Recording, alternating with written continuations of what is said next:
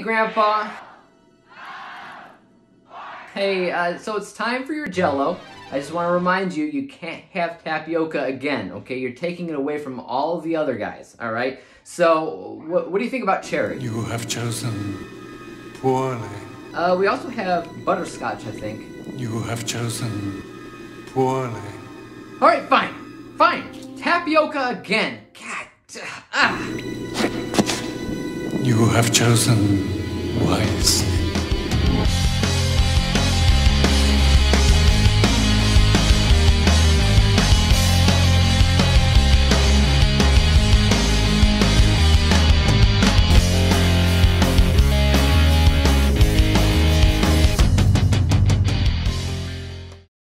What's up, and welcome back to Interpreting the Stars, where today I am joined once again by Rashad of Rashad G Reviews to talk about the final film in the original Indiana Jones trilogy. It's Indiana Jones and the Last Crusade. Indiana Jones and the Last Crusade takes Indy and his merry band of misfits on yet another adventure, this time to find the Holy Grail, foretold to give those who drink from it everlasting life. He agrees to take the mission because his father, who was looking for it first, has gone missing. So off Dr. Jones goes to battle more Nazis on his way to find another item of biblical importance. First of all, huge shout out and thanks to Rashad for being in another review. We'll be hearing what he has to say in just a hot second! But first, I kind of want to quickly go over the things that I think are phenomenal here. I think for most folks, most folks, you don't count Rashad, uh, it's always a battle between which Indiana Jones film is better. Is it Raiders or is it Last Crusade? That's a tougher question than you'd think because both films operate incredibly similar. They're almost mirror images of one another in a way, so it really is hard to decide. Both films are about looking for a biblical item. Both feature Nazis, incredible action, and an adventure like no other. But watching this back, I'll go ahead and say that Raiders is definitely the better film, and I'll try to explain why.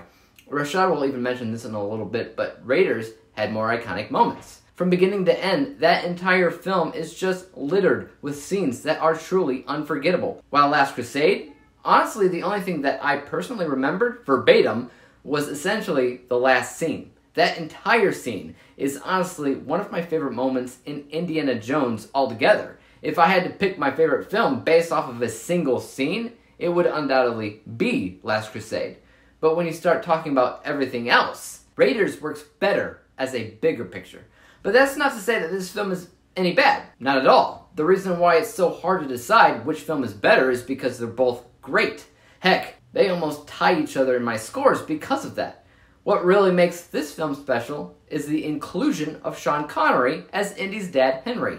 He brings a lot of humor and heart to this film, and I personally think out of every companion that Indiana Jones has ever had over the years, Connery was probably the best when it came down to chemistry, while Marion comes at a close second. Other than that, this film's adventurous flair was honestly top notch. Something was always happening and there was never a dull moment. Plus, it really felt like Indiana was constantly uncovering a trail of clues, kind of like how, you know, Nick Cage would do in the National Treasure series. Now, before we go any further, let's hear a word of what Rashad had to say about The Last Crusade. Take it away, man.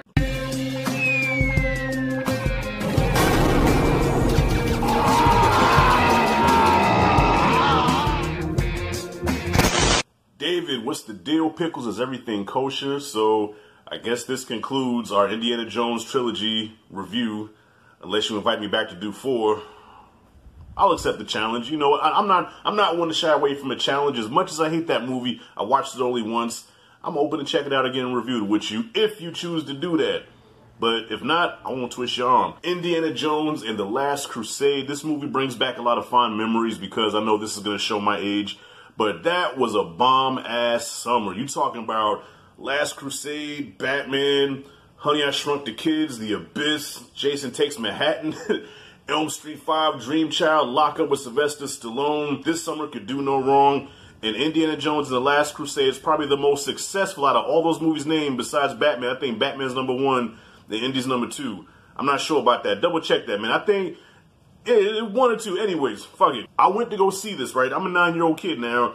I'm gonna be transparent with you, because David, I don't know if you know this story, but um, I'm a nine-year-old kid. Me and a group of friends, we went to go to the the cinema to see Last Crusade, and about, I say, maybe 15 minutes into the movie, we all got bored. We're like, this is boring. We don't want to, uh, okay. So we snuck out, and two doors over was Jason Takes Manhattan.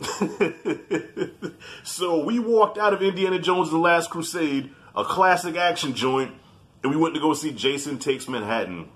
Even to this day, Last Crusade is probably my least favorite of the Indiana Jones movies, but it's still a great time. So I didn't appreciate this movie until I got a little bit older. I think I was probably like, you know, in my teens, and I watched, I said, you know, this movie's actually not bad.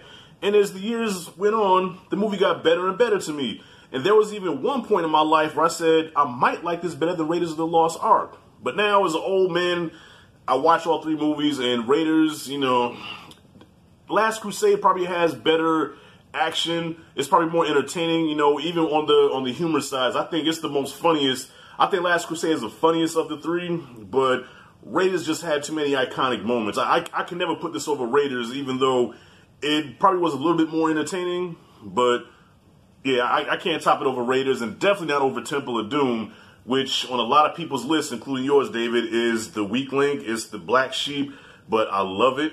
You know what I mean? This is it's the least Indiana Jones movie out of all of them, but Last Crusade definitely follows the Indiana Jones formula and it works out to the T. But now the flaws that I have with this movie are uh, the villains. I think the villains sucked. Even Elsie is is it Elsie or Elise?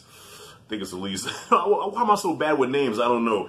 But yeah, Elise, as fine as she was, because she was fine, but as a villain, I was like, eh, okay. And then the main villain, uh, what the hell was his name? Donovan or something like that? Very forgettable. The story overall did not really get me, you know what I'm saying? But with that being said, those are just like small gripes I have with the movie. But I gotta say, the dynamic between Indy and his pops, played by the late great Sean Connery, stole the movie. You know what I'm saying? Because of their chemistry together and the story that Spielberg put together with these two made it worth the price of admission. Even if you take all the action out of this movie, if you just have those two together, scene for scene, it would still been a dope ass movie, even if you take the action away. You know what I'm saying? I just love seeing Sean Connery and Harrison Ford together. I think they absolutely killed it.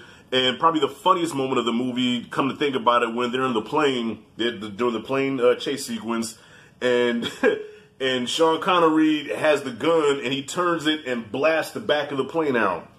Looks at Indy like, oh shit. Indy's like, yo, Pops, man, you good back there? He said, son, they got us. he tried to put it on the Nazis. The tank chase sequence, I think, rivals the truck chase in Raiders. I said rivals it, but that truck uh, chase, you know, you, you can't top that. But still, it came damn close. And it was funny because when the tank went off the cliff and they're all looking, and Indy comes like, hey, what did I miss? And he was like, you know, I, I thought I lost your boy. That was a very heart touching moment when, you know, they, they embraced and, you know, Pops thought you lost him. But when Indy and Pops, the relationship that they had, it mirrored Spielberg and his own father. You know what I mean? So I think that's why this movie had as much heart as it did because Spielberg put a lot of his personal life in here. You know what I'm saying? So wrapping this up, uh, David, I really had a good time with this this series. Last Crusade, dope, on point, funny. Like I said, the funniest one of the three.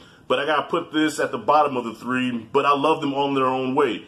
You know what I mean? So Raiders, I believe I gave an A plus two. I think Temple of Doom definitely gets an A plus, and I would give this a solid A. Solid A. So there you have it. So that didn't take much more of your time. I know that you're gonna go more into this. Oh, and by the way, shout out to River Phoenix who played young Indiana Jones. Killed it in that opening sequence with the animals on the train. I thought that was dope. Rest in peace. What could have been a great acting career, man. Damn you know, gone too soon. Yeah, rest in peace, River Phoenix. But yeah, A is what I got for Last Crusade. So, David, thank you once again. The floor is yours. Take it away. Thank you once again to Rashad for joining me in today's review. I have left a link to his channel in my description box below for you all to check out. Give him some love. Tell him I sent you. First and foremost, yes, Rashad, you have been formally challenged to join me again for Kingdom of the Crystal Skull. And yeah, I think for the most part, this entire trilogy we've more or less agreed on, other than Temple of Doom. You nailed it when you said that Raiders has more iconic moments, so you can't put Last Crusade over it in a ranking. That makes sense. A lot of this film I've forgotten about over the years, and I've seen it several times. There's no reason for me to have forgotten so much about it, but here we are. I only remembered patches of the film. I remember the tomb in the library, I remember the rescue of Henry Jones, and literally anything and everything regarding the last scene. Everything else was, you know, it was fine. You know, it had really great action and everything, but not too dangerously memorable. And the more memorable it is, obviously, the more nostalgic. Let's go ahead and break down my final score. From an unbiased technical perspective, this film is made just as well as the first, or second at that matter. Great cinematography, great editing, great music. Basically, it feels like Indiana Jones should feel, which is phenomenal. The delivery and the performances of these actors are on point. It's one of the better third films in a trilogy. This unbiased score is 94%. What about my bias score? Well, this is where that feeling comes in where I didn't think that the entire film was as memorable as the final scene, right? It's still a great movie, but it's not as iconic most of the time.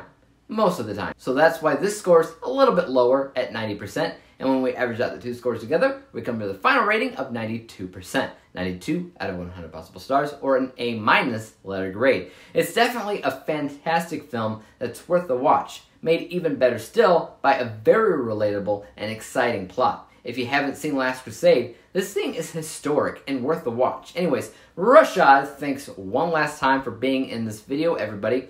Remember, check out his stuff. As for YouTube, you guys know what to do. Let me know which of these original trilogy films are your favorite. After that, go ahead and hit that like, subscribe button, and bell to be notified when I come out with my next review.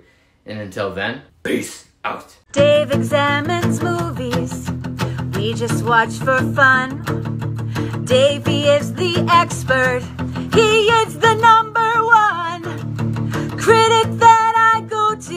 when I need a movie pick. Thanks for joining up with us. We think you.